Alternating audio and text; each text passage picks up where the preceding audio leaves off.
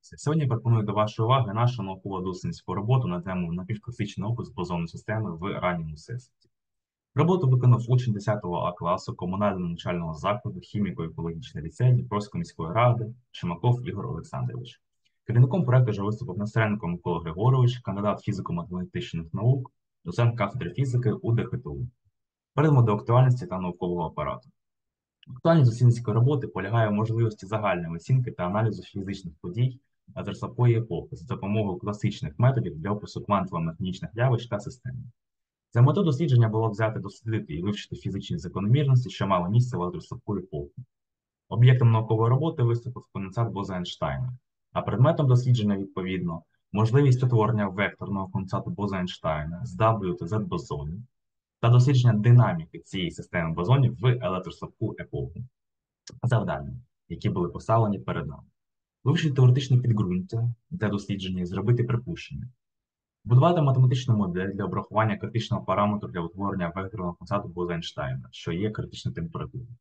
Завдяки мовам програмування C++ і Python зробити комп'ютерні моделі для розрахунку значень та візуалізації відповідно. Наступним етапом провести низку моделювань для отримання результатів і кінцевим етапом, врешті-решт, здійснити аналіз отриманих значень, будувати висновки, що слідують з побудованої моделі. Основні поняття. Завдяки аналізу наукової літератури була побудована теоретична частина, яка розкрила основні поняття, такі як концерт Боза-Ейнштейна, зламання лишлової симетрії, космологія раннього всесвіту, математична модель та інші. Математична модель. Математична модель була створена для визначення критичного е, параметру головного, критичної температури.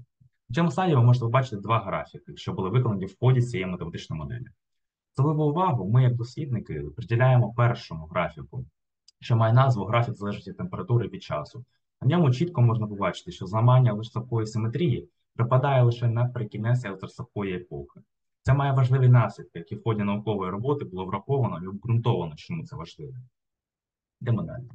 Таблиця загальні параметри всесвіту. В цій таблиці важливо відмітити те, яким чином ми розділили часові проміжки, адже таким самим способом ми проводили всі інші подальші розрахунки в нашій науковій роботі.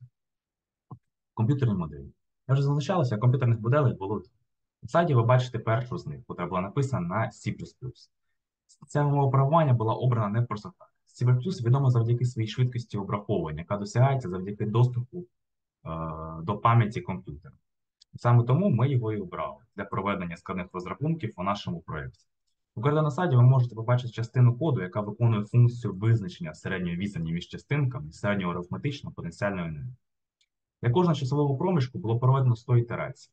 Стандартне відхилення відходило незначне, і це дало нам змогу цілком аргументовано використовувати середнє арифметичне. Перейдемо до другої комп'ютерної моделі, що була написана на Python. Вона виконує функцію візуалізації частинок в сферичному об'ємі простору. Різними кольорами зображені відповідно різні типи частинок W бозони та Z бозони. Python також був обраний не просто так. Мова програмування має цілу низку готових бібліотек та інструментів для візуалізації. З кожною картинкою у нас е, більше більше зменшується масштаб, що дає змогу нам краще проаналізувати положення векторних бозонів в просторі і, відповідно, окреслити можливу еволюцію е, цієї системи бозонів. Результати досліджень. Результати дослідження були оформлені у вигляді таблиць. Математична модель показала, що в нашій моделі, яку ми будували, конденсат Боза-Ейнштейна утворитися не може. Але не менш важливим висновком, який здивував нас, як науковців, було негативне значення потенціальної енергії в системі, що свідчить про відштовхувальний характер між бозонами. Висновки.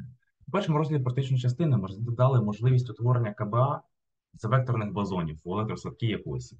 Результати вказали на те, що конденсат не міг утворитися. Це висновок виправдовується неабиякою важливістю, оскільки він робить акцент на тому, що систему бозонів слід описувати як бози-газ, а не конденсат Боза-Ейнштейна. Практична частина нашої роботи присвячена комп'ютерному моделюванню системи бозонів, яке стало ключовим для нашого глибокого розуміння системи. Написавши код програми, ми мали змогу дослідити властивість бозонної системи. Завдяки створеним візуалізаціям ми змогли отримати глибше уявлення про динаміку системи. Проведена науковій роботі дослідження включає в себе математичне і комп'ютерне моделювання фізичних явищ в електрослабкій епосі. Була успішно досягнута наша мета, і всі знання були виконані. Ця робота вивчає етап раннього всесвіту, приносячи новий погляд на еволюцію всесвіту. Виявлення нашого дослідження характеристик бози газу в електроставку епоху створюють підґрунтя для подальших наукових досліджень. Перспективи майбутніх досліджень включають у себе розширення математичної моделі або, наприклад, проведення комп'ютерних симуляцій замість комп'ютерних моделей. Сподіваємося, що це дослідження спрямовує майбутні наукові зусилля на вивчення електроставкової епохи в історії нашого всесвіту. Джерела інформації, що були використані, та дякуємо за увагу.